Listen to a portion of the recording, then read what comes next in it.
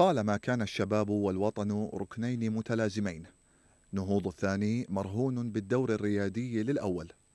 وفي العراق حيث الوطن في عمق جراحه وأحلك ظروفه. لا بد من البحث عن الشباب. أين هم؟ وأي مكانة وضعتهم بها الحكومات المتعاقبة بعد الغزو؟ عقول جبارة ونخب تحدت صعوبات الحياة لتنهي دراستها الأكاديمية. وفي النهاية تبقى على رصيف الانتظار المر. لا وظائف ولا اهتمام حكومي فتصبح البطالة والفقر العنوان الأبرز لواقع الشباب العراقي. لكن سوء الواقع الاقتصادي وثقل هم الإعالة يدفعهم إلى الخروج من الوطن بحثا عن العمل لمن استطاع إلى ذلك سبيلا.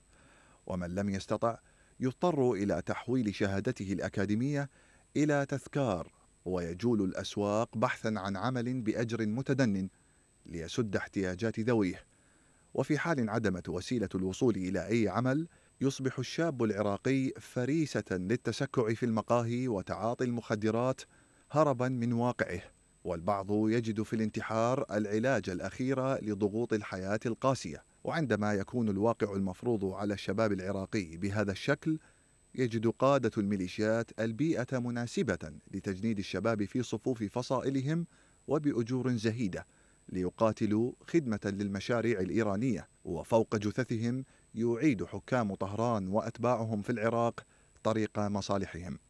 تمزيق المجتمع بضرب أهم فئة عمرية فيه سياسة ممنهجة لوحظت في العراق منذ 16 عاما.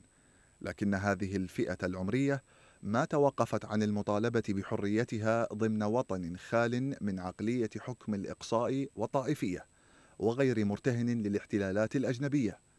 وما التظاهرات الشبابية التي لم تهدأ في العراق إلا دليل على استمرار الحراك رغم العقبات. وصولا إلى غد أفضل يكون للشباب دور الريادة فيه.